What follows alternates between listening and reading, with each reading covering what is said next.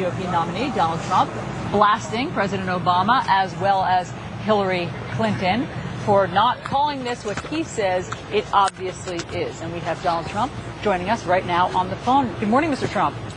Good morning, Alisyn. Thank you for being with us on New Day. We know what a busy day this is for you. Uh, I want to start by talking about uh, one of the tweets that you sent out in the hours after this attack. You renewed your call for the total and complete ban on Muslims entering the U.S. But of course, in this case, this was uh, this was a U.S. citizen. This was someone who was born here. So, what do you do about this kind of radicalization or homegrown terror? That's right. We've had uh, people born here that cause tremendous difficulty. We've had uh, people coming in, and we have, by the way, thousands and thousands of people pouring into our country right now who have the same kind of hate and probably even more that he has, and we have to stop. We cannot take in more Syrian refugees. Uh, many of them are going to be causing big problems in the future. And as you know, I've been a pretty good prognosticator as to what's going to be happening. So we have to stop that.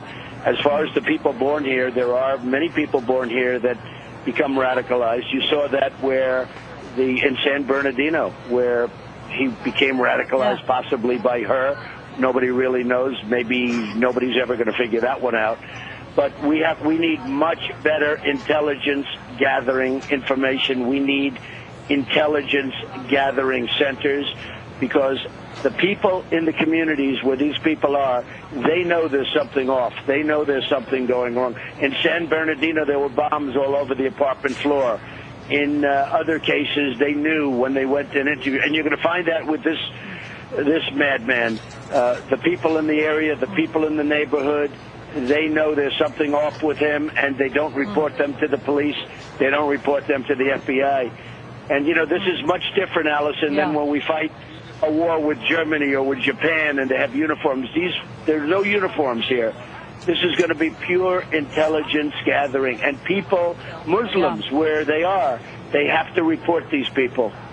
Otherwise, it's going to be a bigger, yeah. bigger problem. And we have right now thousands of people in the United States, living in the United States, who have the same kind of hate in their heart as he had.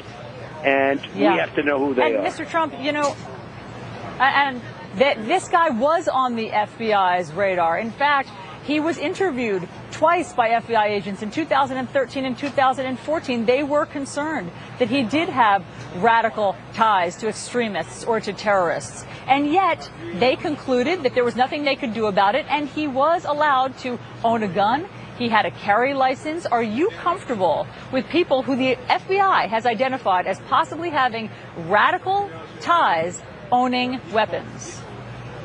Well, in this case, he was actually licensed, and which is sort of an amazing thing. He went out, he got licensed, he was fully licensed, so he had the right to have a gun. So for all of those people that want to have people go out and get licensed, here's an example of somebody that went out, you know, went out and got licensed, and he was able to get a gun.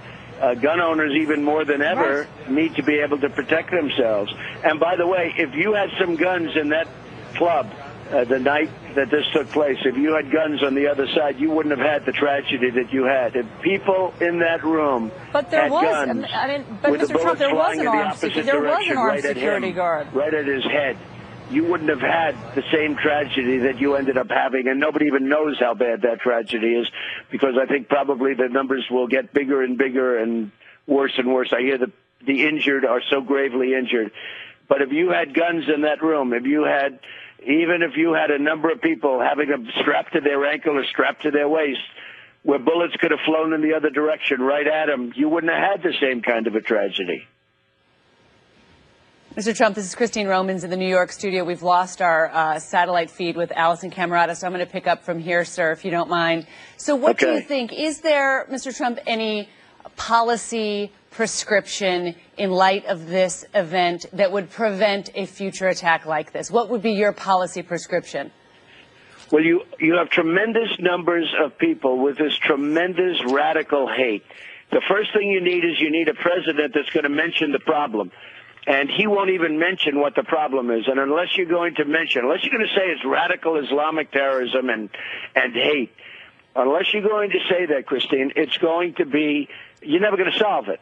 And you have Hillary Clinton refuses to use the words. Now, she doesn't really believe that she shouldn't use it. She's afraid to use it because Trump, on our show this President morning, she Obama did. Doesn't to want her to use it. Uh, And, the- she did you say that this morning. He's, She said- he's the boss, Mr. okay, and and and she's afraid of him because obviously, you know, she probably thinks that he has a very profound effect over her life. Let me jump He's in. I don't know if protecting you her can from hear me on going the phone. to jail. Let me jump so in because- she's not going to use it. But I bet you that she would believe that she would love to use those words because almost everybody agrees that those words should be used. She said, Mr. Trump, on our interview with her just an hour ago, that she's happy to use the words radical Islam, uh, that she's happy to use the words that, that the semantics aren't an issue here. It's, you know, this is now about, right, investigating what happened, finding the motive, uh, finding out more about this man, this murderer, and figuring out if there's anything we can do to prevent something like this.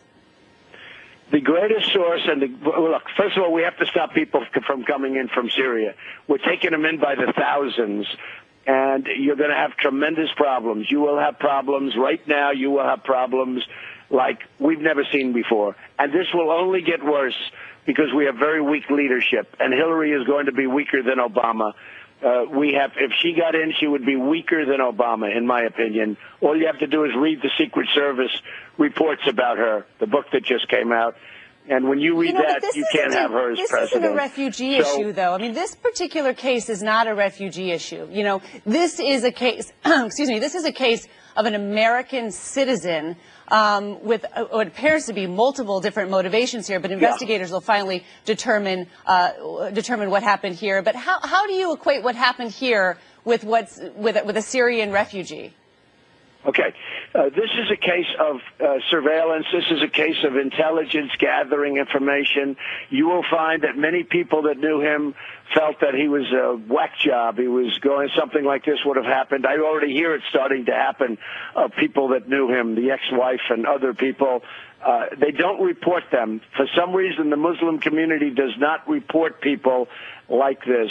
So we do have two different standards. We have people that live here and have become radicalized and have been radicalized. You look at his father. His father is a sort of a prime example. But you look at the people that have come to the country and you look at and, and are here and for that we need intelligence gathering we have to look at the mosques we have to look at all we have to look at the community. And believe me the community knows the people that have potential for blow up. The communities So- that we're talking about they know about this guy. They knew that this was tremendous potential for blow up. And then of course we have to stop allowing people into our country, build a safe zone in Syria, uh, get the Gulf states to pay for it. We can lead it. We don't want to pay for it. We don't have any money. Our country doesn't have any money. We owe $19 trillion. So but the Gulf states have nothing but money. Let them pay for it. We'll lead it. Build a safe zone in Syria so they can stay there. But- But, the last thing right. we need is to take in more people like this guy because you're going to have problems. This is just the beginning. You're going to have problems like this all over our country, and it's going to get worse and worse. And look what's happening in Europe. It's a mess. Donald but we should not be taking in more people. We have nothing. We have enough problems in our country without doing that. And we look forward to hear what you have to say later on today. Uh, apologize again, uh, Mr. Trump, for the uh, disruption in our satellite feed. Uh, but thank